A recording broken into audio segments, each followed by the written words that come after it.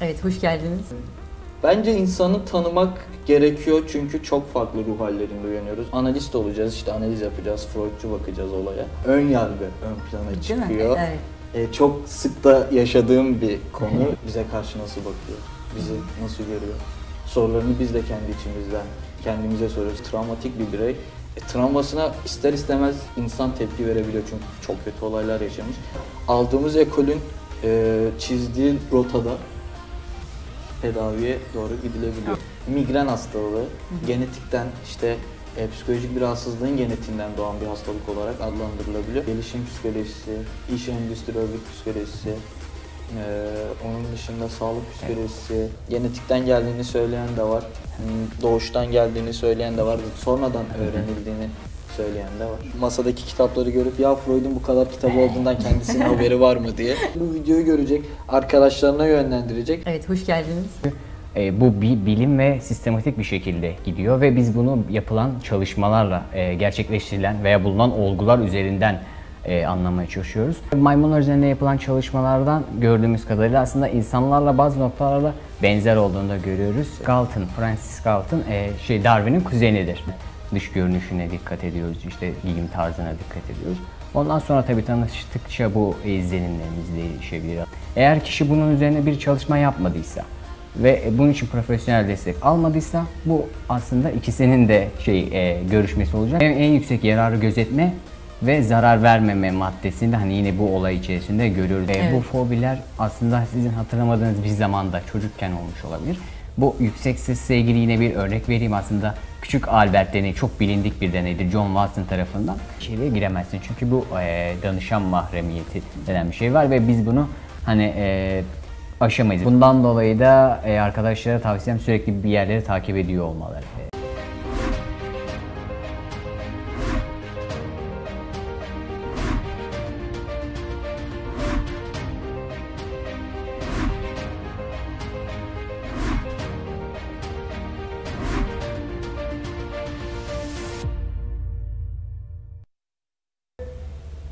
Üniversite TV'ye hoş geldiniz. Yine yurdun dört bir yanından üniversiteleri ağırlamaya devam ediyoruz. Bugün İstanbul Gelişim Üniversitesi Psikoloji Kulübü Kulüp Başkanı Mustafa Yumuşak ve Genel Sekreter Mert Demircan ile beraberiz. Evet, hoş geldiniz. Hoş bulduk. Nasılsınız? İyi sizleri sormalı. Ben de iyiyim, çok şükür. Evet, önce e, sizi tanıyalım teker teker. Buyurun. Tabii ben. Mustafa Yumuşak. Ee, İstanbul Gelişim Üniversitesi 3. sınıf psikoloji öğrencisiyim. Ee, psikoloji kulübünün kulüp başkanıyım. Ee, Konya'da doğdum. Ailem Gebze'de yaşıyor. Ben Avcılar'da öğrenci evinde kalıyorum. Bayağı karışık. evet biraz fazla. Hatta farklı memleketlerim var da onlara girersek program çok uzar. evet. Ee, onun dışında bu şekilde tanıtabilirim kendimi şu anlık en basitinden. Güzel. Evet, siz peki? e, ben Mert Demircan, İstanbul Gelişim Üniversitesi 2. sınıf öğrencisiyim. E, kulüpte genel sekreterlik görevinde yer alıyorum. Ayrıca e, Kırklareli'yim, birazcık göçmenlikte var e, Aa. bizim aileden gelen evet. Ne göçmenliği? E, şey, e, Bulgaristan'da var, e, Hı var. Güzel. Aynen bu şekilde tanıtabilirim kendimi. Evet. Peki e, psikoloji kulübündesiniz. E, psikoloji alanında mı e, okuyorsunuz yoksa? Evet. Evet. Psikoloji alanınız, Psikoloji değil mi? öğrencisiyiz. Kulübümüzün diğer üyeleri, arkadaşlarımız yani çalışan arkadaşlarımız, yönetim kurulu hepsi psikoloji öğrencisi. Çok iyi. E, peki insan psikolojisinin e, anlamak için neler yapılmalı? Birazcık bahseder misiniz? Önce sizden başlayalım. Evet, Mert'e paslayalım soruyu. Ee, insan psikolojisini anlamak ilk başta e, psikolojinin bir bilim olduğunu e, söylemem gerekiyor çünkü e, bu bir bilim ve sistematik bir şekilde gidiyor ve biz bunu yapılan çalışmalarla e, gerçekleştirilen veya bulunan olgular üzerinden e, anlamaya çalışıyoruz ve aslında psikolojinin de amacı da bu şekilde. Psikolojinin amacı hem anlıyor olmak hem buna çözümler üretiyor olmak, insan e, yaşamının kalitesini, insan e, yaşamının işlevselliğini arttırmak aslında psikoloji Ondan dolayı da e, insanı anlıyoruz biz. E, ama şöyle de küçük bir detay verebilirim. E, biz hayvanlar üzerinde çalışmalar mesela yapıyoruz. E, maymunlar üzerine. Ve bu mesela örnek veriyorum tabii ki de maymunlar. E, maymunlar üzerinde yapılan çalışmalardan gördüğümüz kadarıyla aslında insanlarla bazı noktalarda benzer olduğunu da görüyoruz. E, öğrenme konusuna örnek verebilirim. E, bunun dışında hani benim söyleyeceklerim bu şekilde. Peki e, Darwin teorisi hakkında bir görüşünüz var mı? Konu açılmışken hazır. E, Ya, ya evrim teorisi evet, Evet. aslında e, şöyle psikoloji için de çok önemli. Çünkü aslında bilim camiası adına çok önemli. E, psikolojide de ne var? E, mesela Galton, Francis Galton e, şey Darwin'in kuzenidir.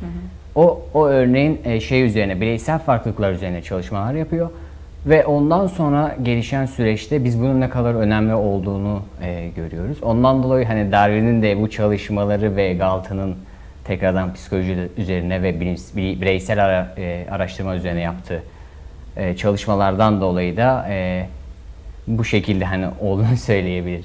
Güzel, çok güzel. Eklemek istediğiniz bir şey var mı? Ben de böyle biraz daha e, insanı şey e, akış içerisinde ele alabilirim aslında. E, hayatımız bir akış. E, günlük yaşantılarımız işte bebekler yemek yiyor, işte uyuyorlar, öğle uykularına yatıyorlar, oyunlar oynuyorlar. Bizler sabah kalkıyoruz, işe gidiyoruz. İşte farklı farklı böyle akış içerisinde herkes bir yerlere koşturuyor, bir şeyler yapıyor. E, Bence insanı tanımak gerekiyor çünkü çok farklı ruh hallerinde uyanıyoruz. İşte ben bir gün yorgun bir şekilde uyanıyorum. İşte Mert mutlu uyanıyor. İşte o anı anlamak, acaba Mert neden mutlu uyandı, ben neden yorgun uyandım? Bunu anlamak, insanı tanımak bence çok önemli bir nokta diye düşünüyorum ben. Kesinlikle öyle. Okuduğunuz e, bölüm aslında çok güzel bir bölüm çünkü sosyal yaşantımızda da etkisi oldukça büyük e, yani. Güzel, bayağı yarar sağlıyordur diye düşünüyorum size. Tabii ki hani böyle işte sizde de muhabbet ederken hani böyle e, analiz yapma acaba işte bize karşı nasıl bakıyor, bizi nasıl görüyor. Sorularını biz de kendi içimizden kendimize soruyoruz. Kendimize de soruyoruz acaba neden böyleyiz diye. O yüzden bölümün insanı anlaması, insanı tanıması ki zaten dünya bunun üzerine kurulmuş hayvanlar da var ama hani insanı anlamak çünkü beraber yaşıyoruz ve hepimiz bir akış içerisindeyiz. Siz burada bir toplulukla beraber çalışıyorsunuz. İş arkadaşlarınızı anlayabilmeniz gerçekten önemli güzel bir konu. Evet, kesinlikle. Hatta yeni tanıştığınız birisi hakkında direkt e, böyle e, farkında olmadan analizler yapabiliyorsunuz, öyle değil mi? Ee, şunu söyleyebilirim. E, laf almak gerekirse. Sosyal psikolojide aslında atıf kuramı denen bir şey var. Hatta e, biz şey yapıyoruz. ilk gördüğümüzde e, karşı taraf hakkında bazı e, fikirler edinmeye çalışıyoruz. İnsanlara e, en fazla dikkatini çeken şey ilk tanışmada fiziksel görünüşü. Aslında hani ilk başta şey fiziksel görünüş olarak nitelendirmesek veya işte bu bazen etik olarak kabul edilmese bile bu araştırmalarla e, desteklenen bir olgu. Yani fiziksel dış görünüşüne dikkat ediyoruz, işte giyim tarzına dikkat ediyoruz. Ondan sonra tabii tanıştıkça bu izlenimlerimiz değişebilir, atıfta bulunma ile ilgili olan e, düşüncelerimiz değişebilir. Güzel. Burada da e, Buyurun. lafınızı kestim Yok. özür dilerim. Ön yargı ön plana Değil mi? çıkıyor. Evet. E, çok sık da yaşadığım bir konu. İnsanlar böyle baktığı zaman hani direkt ön yargıya kapılıp işte Mustafa böyle bir insandır, şöyle bir insandır ama tanıdıkça ya işte değilmiş, yanılmışım. Hani bunu kırabilmek gerekiyor. İnsanın içine girip insanı anladıktan sonra, tanıdıktan sonra hani o ön yargın kalkıyor ya bence hani ben bir ön yargıda bulunmamalıyım, onu öyle düşünmemeliyim. Önce bir tanıyayım nasıl birisi. Daha sonrasında zaten hani tanıdıkça, anladıkça ya işte ya arkadaşlığını devam ettirmezsin ya da devam ettirirsin. E, bu bu çizelgede iş, iş- e, İşler. işler, evet Hı hı. işler. Evet. Yani bu ön yargıyı kırabilmek için de psikoloji güzel bir alan. Evet, kesinlikle. Peki e, her psikolog terapi yapabilir mi? Hmm. Sizden başlayalım tabii isterseniz. tabii. Bu alanda çok fazla tartışılan bir konu. Yapar diyen de çok, yapamaz, yapamaz diyen de çok. E bunun sebebi bizim alanımızda öğrenme asla bitmeyen bir olay. Ve bunun dışında bizde bir yüksek lisans koşulu var. Hani çok olmasa da yüksek lisansa iten çok alan var yani örnek veriyorum. Ee, analiz analist olacağız işte analiz yapacağız, Freudçu bakacağız olaya. Ee, bunun için bir yüksek lisans yapmamız gerekiyor. Bir klinik açabilmek için yüksek lisans yapmamız gerekiyor. Ama eğitimler alıp e, örnek veriyorum hmm, bilişsel davranışçı terapi eğitimi alıp e, yüksek lisans yapmadan terapi yapabilirsin. Kendi terapinden geçmeden terapi yapabilirsin diyen hocalarımız çok fazla. Ama yüksek lisans yapıp yüksek lisans yapmadan işte kendi terapinden geçmeden bunu yapamazsın diyen hocalarımız da çok fazla. Ama bence herkes yapamaz. O kendi terapimizden geçme süreci. Çünkü biz bir danışan aldığımız zaman bu arada hasta demiyoruz asla. E, terapi şey psikiyatristler hasta diyor. Bizim e, bizim gördüğümüz kişiler e, danışan olarak geçiyor. E, bir danışan aldığımız zaman e, yetişkin alıyoruz örnek verelim. E, yetişkin bir olay anlatıyor, travmatik bir birey. E, travmasına ister istemez insan tepki verebiliyor çünkü çok kötü olaylar yaşamış. E, sen kendi terapinden geçmediğin sürece o duygularını karşı taraftaki kişiye açık olarak gösterebilirsin. Bu da danışanın terapi sürecini kötüye doğru yönlendirebilir. Bence her terapist terapi yapamaz diye düşünüyorum. ben. Evet. Peki e, bir şey sormak istiyorum bu konu hakkında. E, siz danışanlarınıza yol göstermiyorsunuz. Onun e, kendi kendine doğru yol bulmasına vesile oluyorsunuz gibi bir şey olabilir mi? Yani bu ekolden ekole değişiyor, alandan alana değişiyor. Örnek veriyorum insan kaynaklarında yani iş ve endüstri örgüt psikolojisinde e, bir yol göstericisin sen. Hani işte insan kaynakları mülakatlar alıyorsun, danışmanlıklar veriyorsun. Ama bir Freudcu analiz bakışında e, bir yol göstericiden çok e, tedavi etmeye yönelik. Yani bir ilaç yazmasak da aldığımız ekolün e, çizdiği rotada tedaviye doğru gidilebiliyor. Anladım. Değişiyor diyorsunuz. Değişiyor, yani. evet. Evet, güzel. Siz peki ne söylemek istersiniz? E, her insan, her pardon, e, psikolog terapi yapabilir mi? Ee, şu şekilde yine hani belirli eğitimler alıyor olmamız gerekiyor. Bu eğitimler e, benim hani bakış açımında e, bakacak olursak e, yüksek lisansı e, ben şart gibi bir şey olarak değerlendiriyorum. Çünkü e, bu e, klinik psikolog olduğunuzda aslında kliniğin içerisine giriyor oluyorsunuz ve bununla ilgili belirli süreçlere dahil oluyorsunuz. Onun dışında Mustafa'nın dediği e, travmatik bir e, danışan geldiğinde bizim de travmamızı uyandırabilir. Bunu örnek verecek e, örnek verecek olursam, örneğin e, karşıdaki e, bir psikoloğun e, travma yaşadığın, deprem travması, depremde ailesini kaybetmiş bir e, psikolog olsun ve bu psikoloğa gelen danışanda bu travmasından bahsediyorsun. Eğer kişi bunun üzerine bir çalışma yapmadıysa ve bunun için profesyonel destek almadıysa bu aslında ikisinin de şey e, görüşmesi olacak ve bu e, yarardan çok zarara dönecek ki yine bizim ilkelerimiz var etik ilkelerimiz. Bu şeyle kişiler farkındalık etik ilkesine girer ve e, onlar net bir şekilde söylerler ki eğer böyle bir durum varsa direkt e, terapiyi sonlandırman gerekiyor ve başka bir e, e, uzmana yönlendirmen gerekiyor şeklinde. Ve yine hani temelde yine etik yönetmeliğimizden, Türk Psikologlar Derneği etik yönetmeliğinden bir e, maddeden bahsedeyim. O şeydir, en, en yüksek yararı gözetme ve zarar vermeme maddesinde hani yine bu olay içerisinde görüyoruz ve bunu uygulayaraktan başka bir profesyonele de yönlendiriyoruz ve biz de bunun üzerine çalışmalar yapmamız gerekiyor. Evet çok güzel. Ee, Birçok korku var insanlarda. Ee, genetik olma durumları söz konusu mu ondan örnek vereyim hatta. Bende mesela gök gürültüsü, şimşek korkusu var. Yani mesela gök gürleyince e, yağmurlu havalarda dışarı çıkmayı bırakın yani. Bütün elektronik aletlerden uzak duruyorum, telefonumu kapatıyorum. Böyle e, köşeyi çekiliyorum ve kulaklarımı kapatıyorum diyebilirim. O derece yani. Bu bir korku. evet. Bunu nasıl tanımlarsınız peki? Yani ne dersiniz Ee, bu konu hakkında? Şimdi özgün fobi dediğimiz bir şey var. Ee, Evet. Bu fobiler aslında sizin hatırlamadığınız bir zamanda çocukken olmuş olabilir. Bu yüksek sesle ilgili yine bir örnek vereyim aslında. Küçük Albert deneyi çok bilindik bir deneydir John Watson tarafından.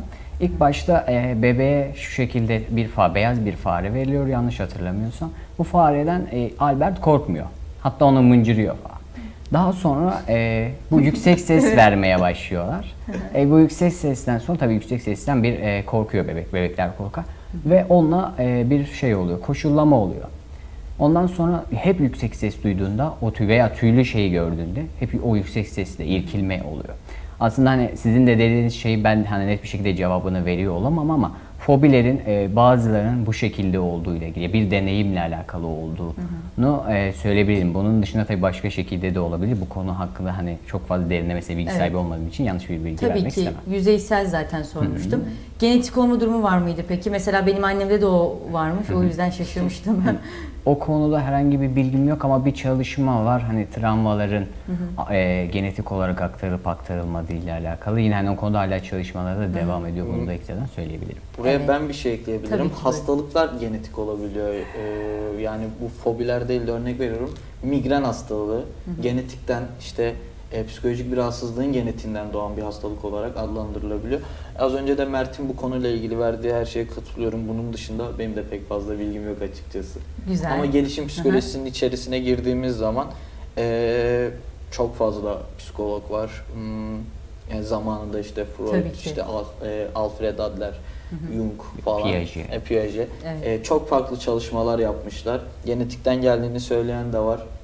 Doğuştan geldiğini söyleyen de var. Sonradan öğrenildiğini söyleyen de var. Burada küçük bir Evet, ekleme tabii yapayım. ki. Hatta psikoloji camiasında şöyle bir hani tartışma oluyor. E, çevre mi etkili, kalıtım mı etkili evet diye. evet çok fazla tartışıyorlar. Evet ama hani yani bugün hani yorumlarımıza istinaden söylüyorum. İkisinin de etkili olduğunu olduğu konuşuluyor ve bunun üzerine hani düşünülüyor ve çalışmalar yapılıyor. Bunu ekstradan e, Mustafa'ya Evet. ekleyebilirim. Güzel.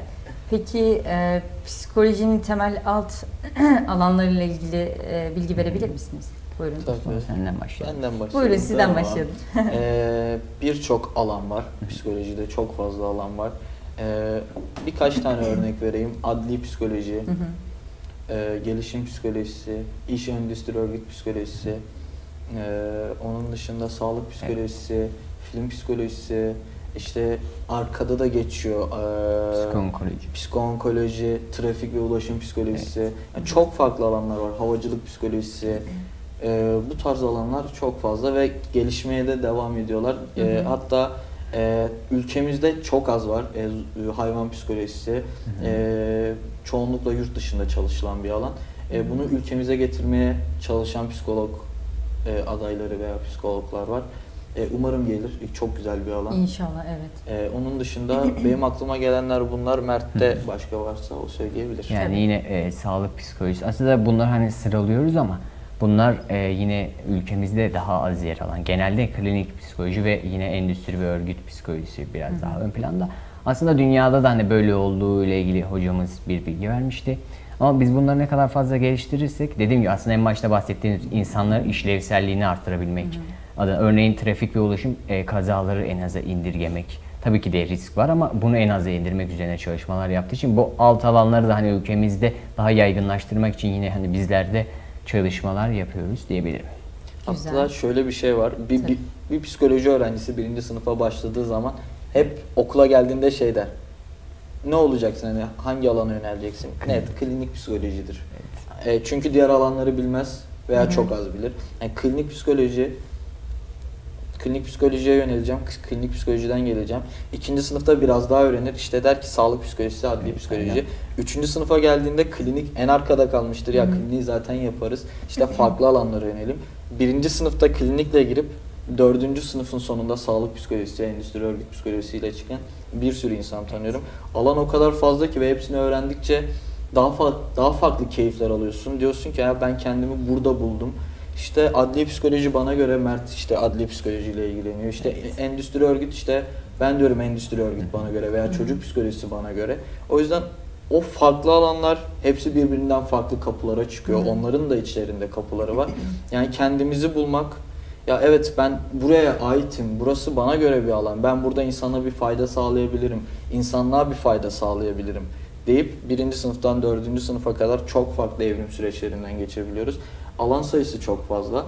E, o yüzden bence kendimizi tanımalıyız. İlk başa Hı hı. geliyoruz insanı tanımaya. Kesinlikle öyle. Kendimizi tanıyıp, çevremizi tanıyıp ben bu insanlara ne yapabilirimi aldıktan sonra kendimi cebimize ona göre bir alan seçip işte psikoonkoloji, adli psikoloji, sağlık psikolojisi bu alanlara doğru yönelebiliyoruz. Çok güzel. Buyurun bir şey söyleyeceksiniz herhalde. Yok hani ekstradan şey Mustafa aslında havacılık psikolojisi üzerinde mesela Aa. şey e, beraber staj yaptı ve çalışma e, o yönde eğitimler aldı. Hani onu da ekstradan söylemek istedim o ve da endüstri örgüte giriyor. özür dilerim Mustafa. Hatta Mustafa o dördüncü sınıfa kadar geçen süreçte gerçekten hak veriyorum. Hep böyle hocalarımız da söyler. Hani bunun da şey de etkisi var tabii hep televizyonlarda da hani görüldüğü için. Ama diğer alanlara da e, yönelim var veya araştırma yaparsak onlardan da e, uzmanlar çıkartabiliriz diye düşünüyorum. Evet, çok güzel. Adli psikoloji çok zor değil mi? Yani Evet. bir ilginiz var herhalde. Evet. Biraz bahseder misiniz? Nereden e, yani esti bu adli psikoloji Ee, okumalıyım? Evet. Şu şekilde aslında yine de değişebilir ama merak duyduğum bir Evet. alt alan. Aslında psikoloji öğrencilerin genel şeyi budur. Hangisine gitsem, hangisine yönelsem de. Adli psikoloji e, biraz daha böyle e, aslında insanların e, karanlık tarafı olarak nitelendirildi ve mesela Carl Jung var yine bu e, Freud'la beraber giden ve daha sonra Freud'dan ayrılan. Onun da arketiplerimiz vardır bizim. O gölge arketipi insanın göstermek istemediği yüzü olarak nitelendirir. Ve hani adli psikolojide biraz bunu görüyoruz ama biraz da insanın doğasını da görüyoruz. E, ondan dolayı benim hoşuma gidiyor ve e, baktığımızda yine diziler üzerinden gidecek olursak yine hani seri katillerin de bir şiddet geçmişi oluyor veya istismar geçmişi oluyor. E, tabii bunları okuyor olmak e, ve hani bunlar üzerine gidiyor olmak çok önemli. Çünkü e, bi- biz burada aslında belli kararları veriyor oluyoruz. Adli psikoloji, adli psikolog. E, mesela e, herhangi bir e, cinsel istismara uğramış kişi onun hani psikolojisiyle yine ilgileniliyor. Bunun gibi birçok e, süreç var. Onun dışında hani zorlu ilgili şunu söyleyebilirim. Yüksek lisansta farklı dersler, birçok farklı ders alıyorsunuz. Belki bu konuda hani zorlanabilirsiniz ama zaten e, istediğiniz şey belliyse ve bu yönde e, motivasyonunuz varsa biraz çalışmayla üstesinden gelebilirsiniz diye düşünüyorum. Evet çok güzel. Ee, peki birazcık kulübünüzden bahsedelim. en güzel nokta. Birazcık muha- muhabbete daldık gidiyor. Ee, kulübünüzün amacı ve misyonu nedir? Sizden başlayalım. Tabii. Ee, İstanbul Gelişim Üniversitesi Psikoloji Kulübü 2013'ten bu yana aktif bir şekilde çalışan bir kulüp. Ee, 2013'teki ilk başkanımız e, ondan sonrakiler şu an çok güzel yerlerdeler. E, buradan onları da anayım belki izliyorlardır. E, misyonumuz okulumuzdaki psikoloji okuyan öğrenciler artı psikolojiye merak duyan öğrencileri e, öğrencilere bu alanı sevdirmek, e, bu alan hakkında e, bilgi kazandırmak, bu alanı deneyimletmek e, kulübümüzün en önemli misyonu, amacı e, olarak nitelendirebilirim aslında. Evet çok güzel. Buyurun. Ee, ben de hani şunu ekleyebilirim. Biz evet burada mesela akademik etkinliklerimiz var. Ee, akademik etkinliklerde hocalarımızla bir araya gelip bir konu, spesifik bir konu hakkında çalışmalar e, konuşuyoruz. Sunumlar yapıyor hocalarımız. Bunun üzerine sorularınız varsa soruyoruz. E, bunun dışında sosyal etkinliklerimiz var. Hem diğer arkadaşların. Buna sosyal etkinliğimize psikoloji öğrencileri dışında da yine dahil olanlar e, olabiliyor. E, hep beraber aslında bir şeyler yapıyor oluyoruz. Bu yaptığımız şey e, hani sadece yönetim kurulu olarak değil, hep beraber biz bir şeyler varız. Eğer biz bir ürün çıkartacaksak hep beraber çıkartacağız. Ve biz şey olarak psikoloji kulübünü bir gelişim alanı olarak görüyoruz. E, hem biz burada gelişiyoruz hem de diğer arkadaşların gelişimine katkıda, katkıda bulunuyoruz.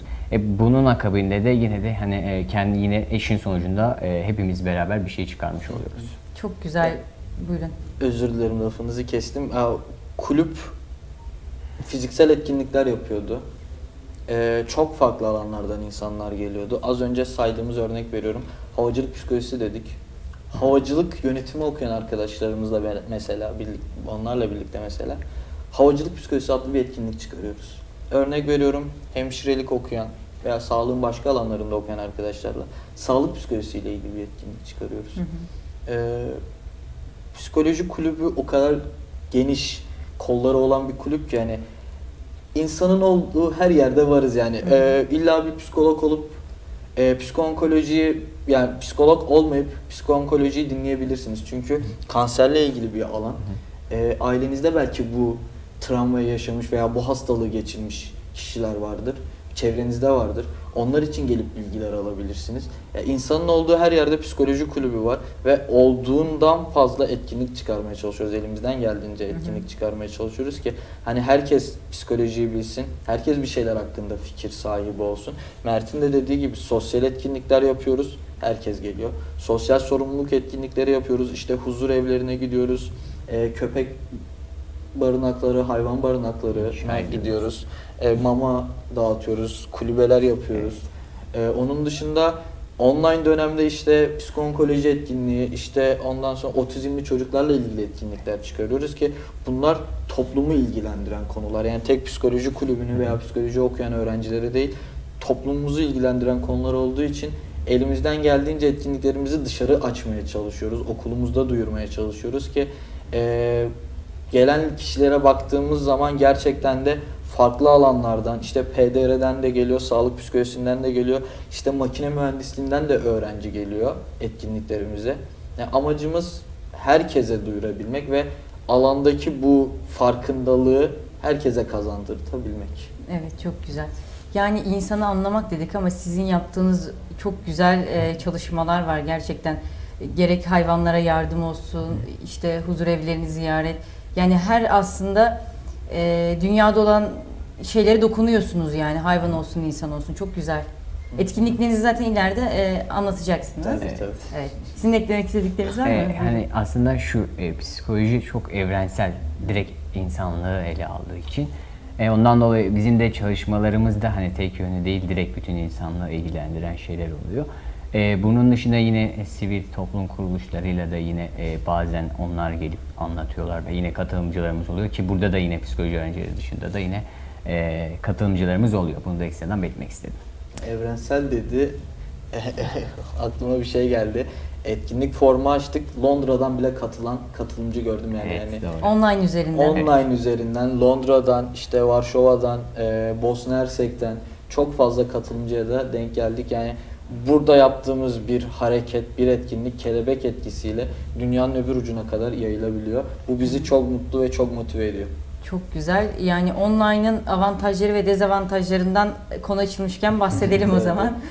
Buyurun avantajları dezavantajları 3 neler? senedir kulüpteyim. 2 senesini fiziksel yaşadım. E, bir senesini online olarak yaşıyoruz şu anda. E, deneyimlerimi söyleyecek olursam o online'ın avantajı çok fazla insana ulaşabiliyoruz. Az önce de bahsettim Londra'dan, işte Bosna Hersek'ten insanlara ulaşabiliyoruz.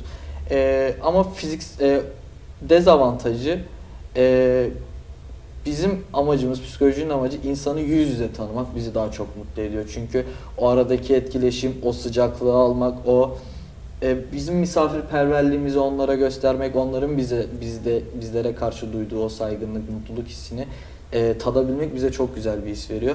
Online oluyor, insanların yüzünü göremiyoruz, kameralarını kapatıyorlar, seslerini kapatıyorlar. Bu bizi bir tık üzüyor. Fizikselin en güzel yanı bu. Az bir insana ulaşabiliyoruz. Sadece işte çevredeki üniversitelerden veya kendi üniversitelerimizden arkadaşlarımıza ulaşabiliyoruz.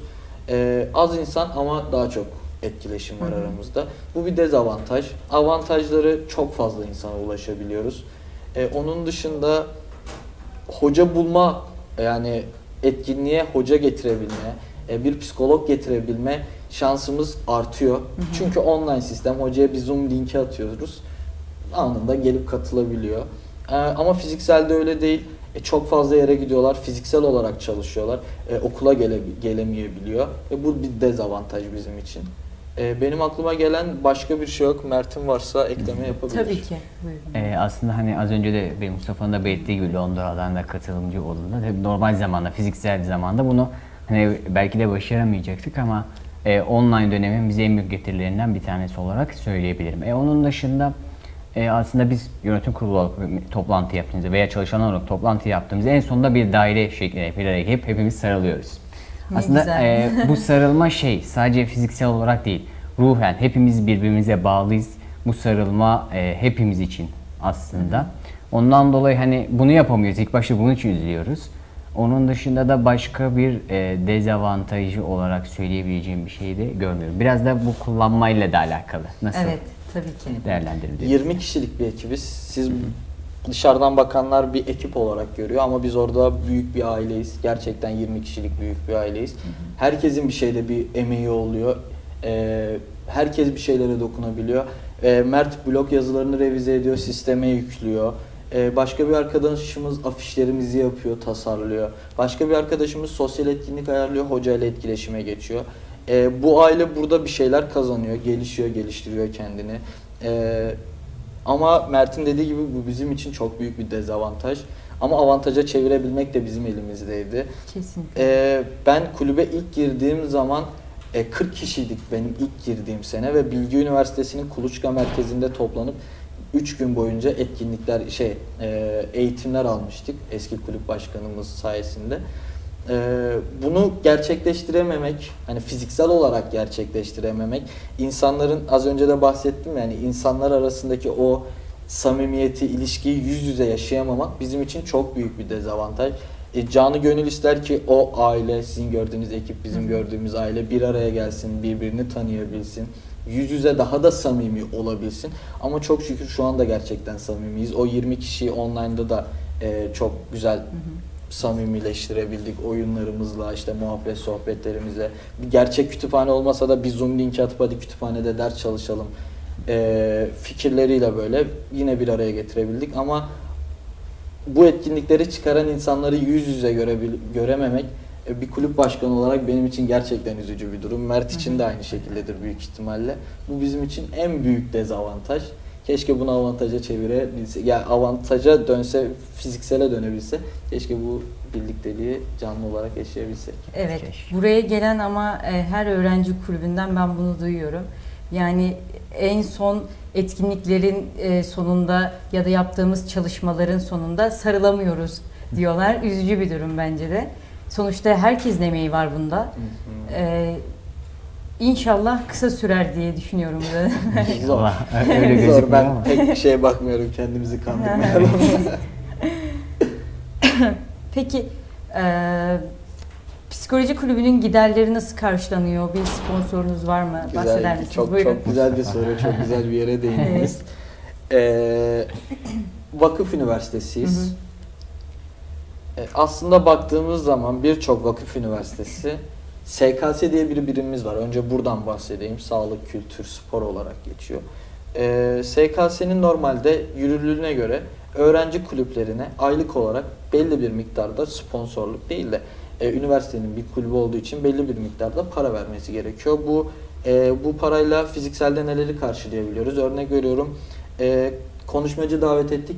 Konuşmacıya bir çelenk e, veya bir plaket hediye edeceğiz. Bunu oradan karşılamamız gerekiyor. E, sağ olsun üniversitemiz bize bu konuda pek destek çıktığı söylenemez. E, bunu toplantılarda çok fazla dile getirdim. İşte SKS'nin okulla, yönetimle olan toplantılarında.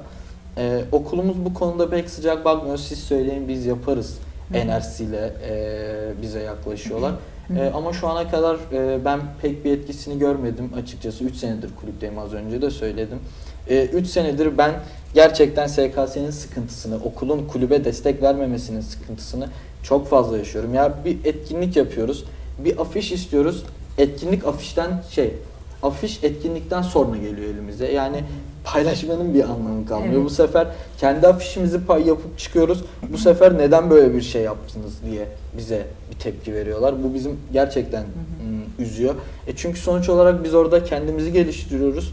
Ee, okulu tanıtıyoruz en önemlisi. Yani Londra'da okuyan bir insan gelip İstanbul Gelişim Üniversitesi'nin adını duyabiliyor. Tabii ki. Yani biz bu bunun için çabalarken okulun bize destek vermemesi motivasyon kırıklığına neden olabiliyor. Ama biz elimizden geldiğince bunu göz ardı edip ya, tamam hani e, biz kendimizi geliştireceğiz. Hani okul bize destek vermese de biz bunu kendimiz için yapıyoruz. E, buna canı gönülden inanıyoruz. E, kendimiz bir şeyler yapmaya çalışıyoruz ama isteriz ki okulumuz da bize destek çıksın. Hani maddi açıdan olmasa bile işte tanıtabilsin, büyük etkinliklere izin versin. İşte Sizin eklemek istedikleriniz var mı? E, aslında Mustafa çok, Bayağı çok, daldınız. çok iyi özetledi. E, tabii ki de bu noktada okulumuzun da desteği bizim için çok önemli. Ama e, bu görev bildirimleri biz hani sürekli veriyor olacağız. Çünkü e, dediğim gibi burası bizim gelişim alanımız ve okulumuz da bize destek çıktığı sürece biz daha fazla kitleye ulaşıp hem okulumuzun adını duyurup hem de e, kendimizi daha fazla geliştirebiliriz diye düşünüyorum. Ondan dolayı da Mustafa'ya da katılıyorum. bu arada dışarıdan sponsor olmamız yasak. Aa, E, öyle vakıf üniversitesi olduğu için dışarıdan sponsora izin vermiyorlar. Yani bu kapıyı kapatıyorlar. Tam buraya kaçıyoruz bu kapı açık bu kapıyı kapatıyorlar. Ortada sıkıştık kaldık ama kendi çapımızda bir şeyler yapıp hocalarımızın desteğiyle e, ya okuldan olmayan okuldan olan okuldan olmayan hocalarımızın desteğiyle etkinlikler gerçekleştirmeye devam ediyoruz ve edeceğiz de yani bari oraya açık bıraksınlar bize. Yani Evet. etkinlik yapmamıza izin versinler. Aslında bu tutumunuzu çok beğendim. Çünkü hırslısınız ve önünüze o kadar çok zorluk çıktığı halde hala pes etmeden devam ediyorsunuz. Yani Güzel bir şey bu. 6 ayda 5,5 ayda falan e, 35'in üzerinde etkinlik çıkardık. Çok iyi. Desteksiz. Harika. E, sürekli kendimiz E, bir Zoom hesabımız olmadığı için bunu söylemekte yanlış olduğunu düşünmüyorum açıkçası.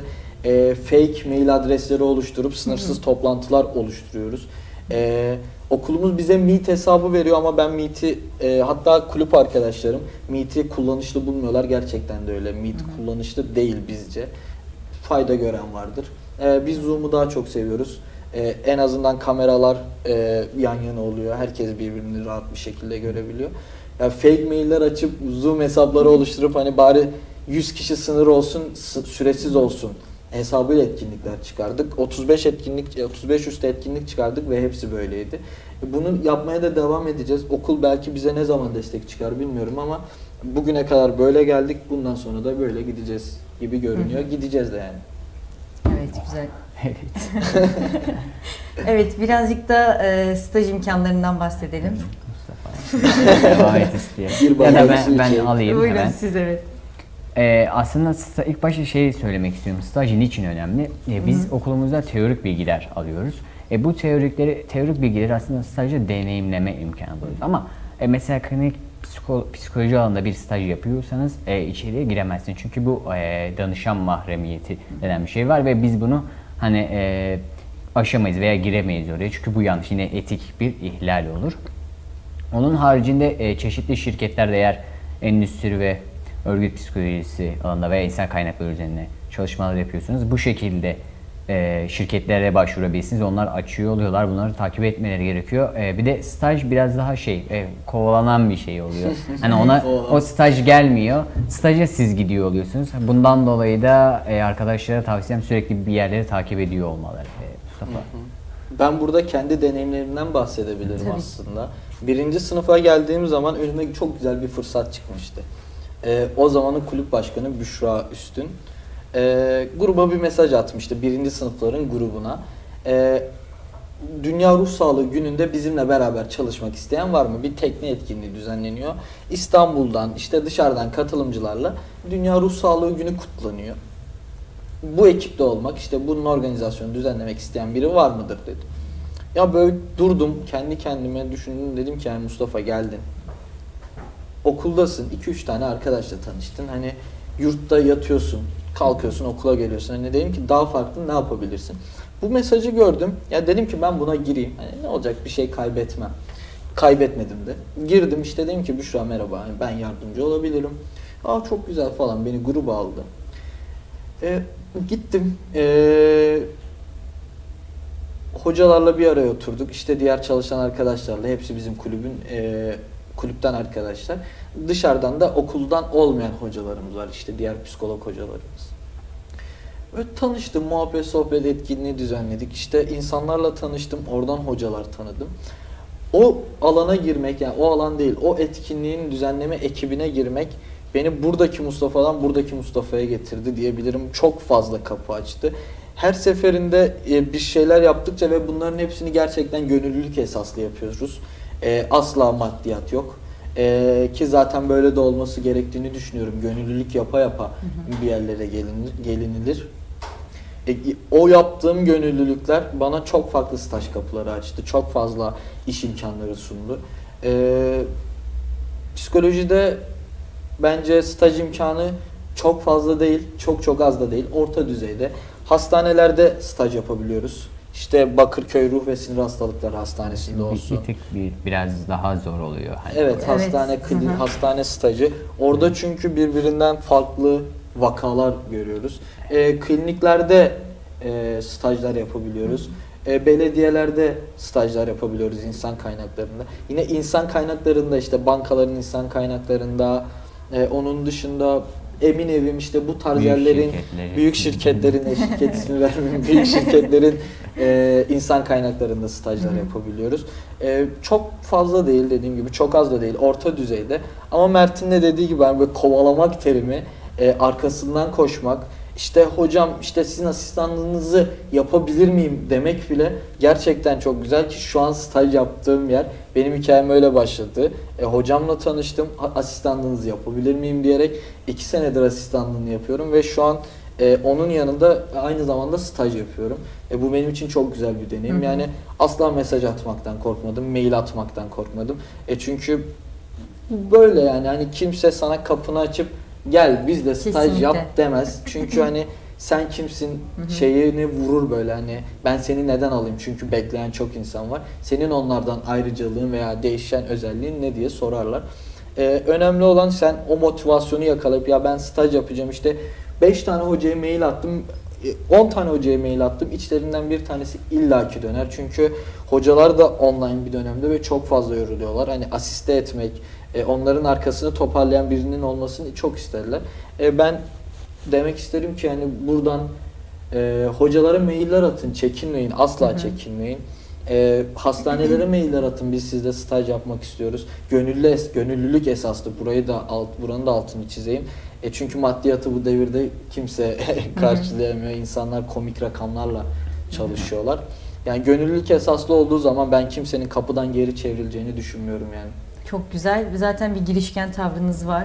Teşekkür ederim. Ee, daha önce de konuştuk zaten yayından önce de. Yani onu sezdim ben açıkçası. Ya ben e, Mustafa'ya ek yapabilirim. Hani lafınızı bölüysem özür dilerim ama e, şey Mustafa'nın dediği gibi aslında maddi kaygı gütmeden gönüllülüğün temelinde de hani bu var. Bir ay motivasyonla gidersin ve oradan ayrıldığında aslında cebine e, maddi e, götürüyle beraber örneğin bir eğitimle kazanabileceğin bir şey belki de e, maddi e, kaybın olmadan giderin olmadan kazanırsın ve bu aslında daha fazlasını kazanırsın. Çünkü gönüllülüğü e, farklı bir şeydir ve e, bunun getirileri çok çok farklı oluyor. Hem sen tatmin oluyorsun, hem motivasyonun artıyor, hem de bilgilerin artıyor ve bu cebini bunları doldurup yoluna devam ediyoruz.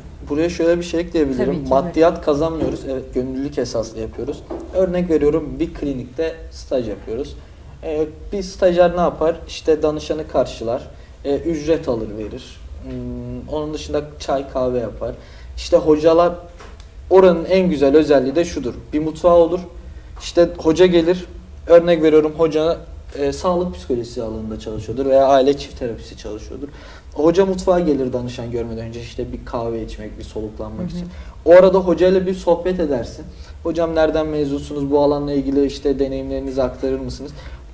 Oradan aldığın bilgi senin cebine en büyük maddiyat bence. Yani o bilgi aktarımını almak, o deneyim aktarımını almak bana göre en büyük Kesinlikle e, maddiyat bu. Hı hı. Onun dışında kliniklerde genellikle eğitimler olur.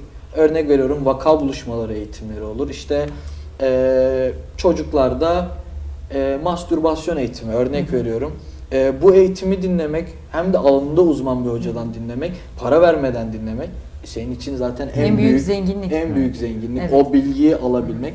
Hem de hani ona fırsat, o fırsatı sana gösteriyorlar. Senin o fırsatı alıp o etkinliğe girmen bence en büyük maddiyat, en büyük zenginlik bu yani. O Kesinlikle. bilgi deneyimini almak bana göre en büyük. Evet, dediğiniz Kazanç. gibi zaten psikoloji alanı da e, sınırı olmayan bir alan. Sonuçta birçok insan var ve her insanın karakteri ve düşünceleri de farklı olduğu için yeni teoriler olabilir.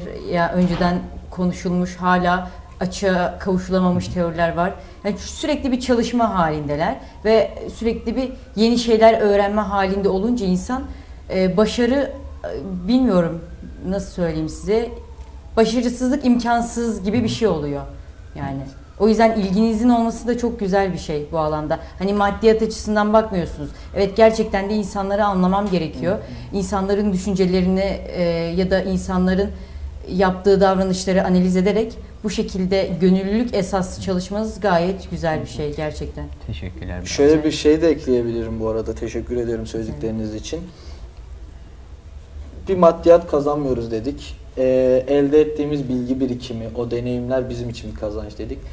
O gün kazanmadığımız maddiyat bundan 4 sene sonra işte örnek veriyorum 3. sınıfım mezun olacağım, yüksek lisans yapacağım. Daha sonra işte bir klinik işte veya danışan görmeye başlayacağım. O zaman yanında staj yaptığım, danışmanlık yaptığım hocam e, bana bir terapi şey, bana bir danışan yönlendirebilir. E, veya o mutfakta sohbet ettiğim hocam bana bir danışan yönlendirebilir.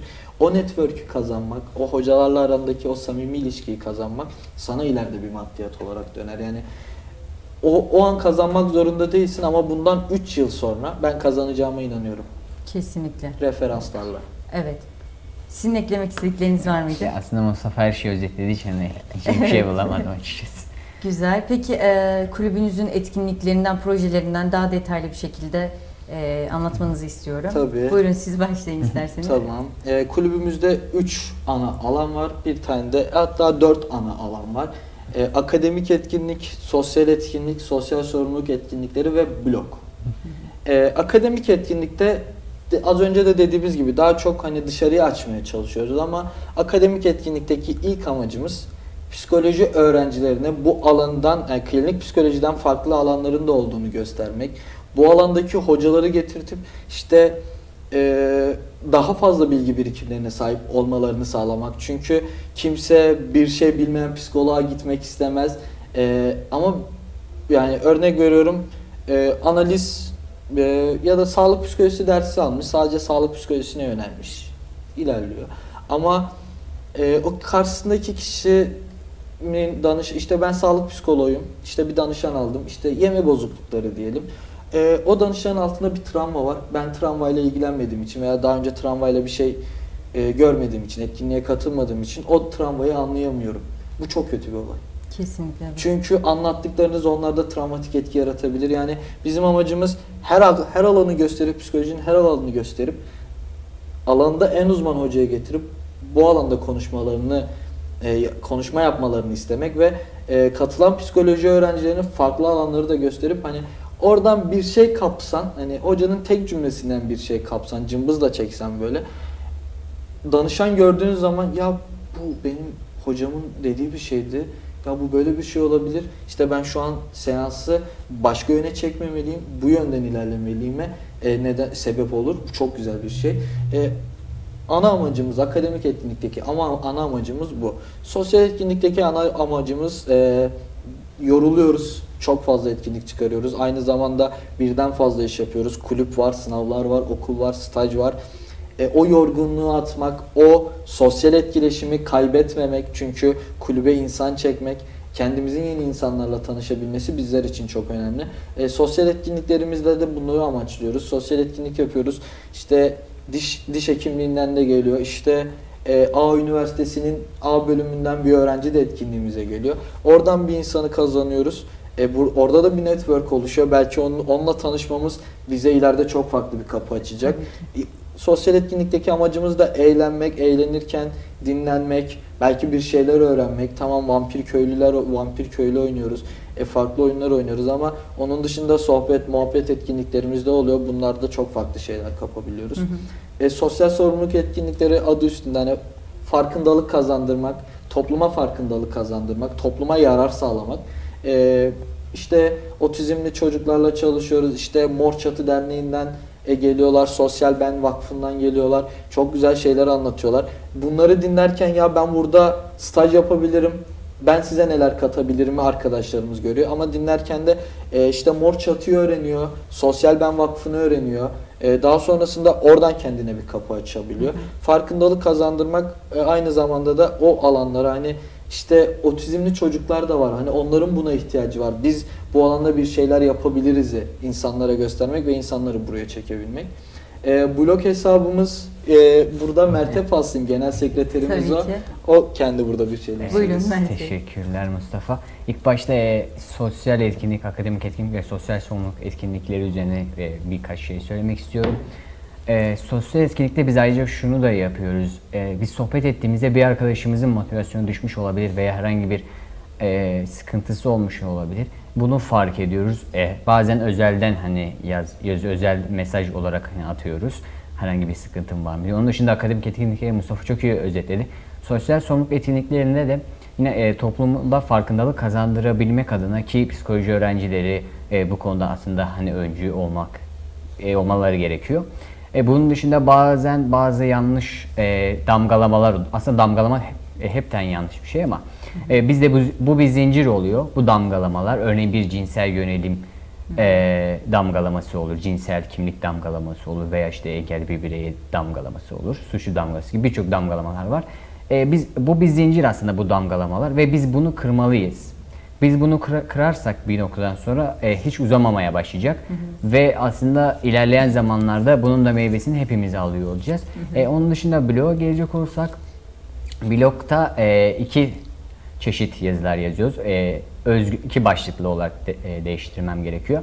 özgün yazılar. Bu özgün yazılarda daha çok e, yazarın kendisine kalmış şeyler oluyor. E, psikopatoloji üzerine yazabilir ama e, bu psikopatoloji bir hikayeyi anlatıyor olabilir. Bir hikayede psikopatoloji anlatılıyor olabilir. E, bunun dışında şiir yazabilir arkadaşlarımız veya e, çok yoğun bir süreçten geçmişte bu e, süreci kağıda dökebilir veya kendini buluyordur. Bunları yazıyoruz. Yani özgün başlıklar altında değerlendiriyoruz. E, bunun dışında akademik referans ver, vererek yazdığımız yazılar oluyor. Bunlar da bilimsel araştırmaları içeriyor ve bu bilimsel ara- araştırmaları e, diğer arkadaşlarımıza, diğer insanlara ulaştırabilmek adına da blog hesabımızı sürekli aktif tutmaya çalışıyoruz diyebilirim. Evet çok güzel. Peki e, Freud hakkında ne düşünüyorsunuz? Onu atlamadan geçemeyeceğim. Evet, ya aslında ne düşünüyorsunuzdan ziyade ortada e, hani bir durum var. E, Freud'un psikolojiye katmış oldukları, tabii ki burada kendi ifadelerimi Tabii ki. e, söylüyorum, aktarıyorum. Evet, e, Freud'un psikolojiye katmış olduğu çok fazla şey var. E, bugün bazı e, söylemler veya araştırmalı bulguları geçerliliği olmuyor. Çünkü araştırmalarla, e, çünkü bilim böyle bir şeydir. E, biz bir zamana kadar bildiğimiz bir şey değişebilir. Yanlışlanabilir. İşte e, Popper var bu e, e, bilimin temel kökeninde, araştırmanın kökeninde olan bir insan ve yanlışlanabilirliği öne sürüyor. E, ama tabii ki de bugün geldiğimiz noktada kabul gören kısımları da var. Yine e, bazen şey diye tartışılıyor. Tabii o zamanlardan bahsediyor olursak e, cinsellik üzerine bir kuram kurduğu için o zaman eleştirilere maruz kalıyor. Ama e, bugün geldiğimiz nokta dediğim gibi bazı e, söylediği şeyler yine e, kabul edilebilir, geçerliliği olan şeyler. Hatta şunu söyleyebilirim, e, 3 ve 6 yaş arasında e, ödipal dönem olarak değerlendirdiğimiz fallik dönem olarak da değerlendirebiliyoruz. E burada hatta e, ba- bazı uzmanlar şunu söyler, e, bizim hani toplumumuzun yine bir parça, kültürümüzün bir parçası da sünnet olmama. Çünkü bu dönemde e, kastrasyon anksiyetesi dediğimiz bir şey vardır. O hadım edilme korkusu. Çünkü babayla e, örneğin bir çocuk, erkek bir çocuk e, annesi annesine ilgi duyar. Buna da ödipal kompleks denir. Tabii farklı olan şekilde yine e, kendi cinsine, ebeveyne de ilgi duyduğu alanlar oluyor. E, ve baba tarafından e, hadım edileceğini yani e, düşündüğü Anladım. için bir gerilim oluyor. Ve hani bunun da ekstradan travmatik bir yaşantıya dönmemesi adına böyle bir e, profesyonellerin önerisi oluyor. Bunu da ekstradan hani söylemek istedim Evet. Freud hakkında. Teşekkür ederim düşünceleriniz için. Psikoloji deyince akla Freud geliyor. Evet direkt. Yani bilim psikolojiyi biliyorlar. Kimi biliyorsun? Freud. Hani baba babası. Hatta programdan önce işte buranın fotoğrafını attım bizim yönetim kurulundaki işte çalışan diğer arkadaşlara. Bir arkadaşımız şey esprisi yaptık. Masadaki kitapları görüp ya Freud'un bu kadar kitabı olduğundan kendisinin haberi var mı diye. Ya büyük bir insan. Gerçekten çok güzel katkıları var kesinlikle psikoloji bilimine. Çok fazla katkısı var. Ee, seveni çok çok fazla, sevmeyeni var ama çok çok fazla değil. Baba yani psikolojinin babası. Evet güzel. Peki e, üniversiteniz hakkında eklemek istedikleriniz var mı e, ayrıyetten? Ee, Gelişim Üniversitesi diğer vakıf üniversitelerine nazaran bir tık daha güzel bir üniversite diyebilirim. Yani e, benim fikrim şu an söyleyeceğim e, öğretim kadrosu gerçekten kaliteli hocalar. Psikolog değiller, psikiyatrist hocalarımızın birçoğu. Verdiği vakalar, derslerde verdiği vaka örnekleri bir tık ağır olabilir ama farklı bir bakış açısıyla bakmamıza sebep oluyorlar, neden oluyorlar. Bu çok güzel bir şey. Onun dışında e, kulüpler aktif bir şekilde çalışıyor. Gerçekten SKS ne kadar engellese de okulumuzun birçok kulübü işte gastronomi, müzik, işte e, havacılık, psikoloji, işletme birçok kulübü çok aktif bir şekilde çalışıyor. E, kulüpler e, okulu ayakta tutmaya çalışıyor. Onun dışında bence ya ulaşım açısından İstanbul'da değiliz. Avcılar biraz İstanbul gibi gelmiyor bana. Ve biraz daha Edirne'ye yakın olduğumuz için. Yani bir kampüs hayatımız yok. Ee, ama sosyal orta düzey. Onun dışında güzel bir okul olduğunu söyleyebilirim. Ha, fırsatım olsaydı burada okur muydum? Hayır. Evet. Farklı bir okul isterdim. evet. Ama burada iyi ki burada okumuşum çok fazla şey kattı. Ee, hem alandan farklı farklı hocalar tanıdım. Kulüple tanıştım. Belki burası benim kaderimdi. Ö- Evet. O şekilde geldim. E, kulüple tanıştım. E, onun dışında bence okunabilir bir okul. Hani o, o kadar kötülemeye, şey yapmaya gerek yok ama bunlar benim fikirlerim.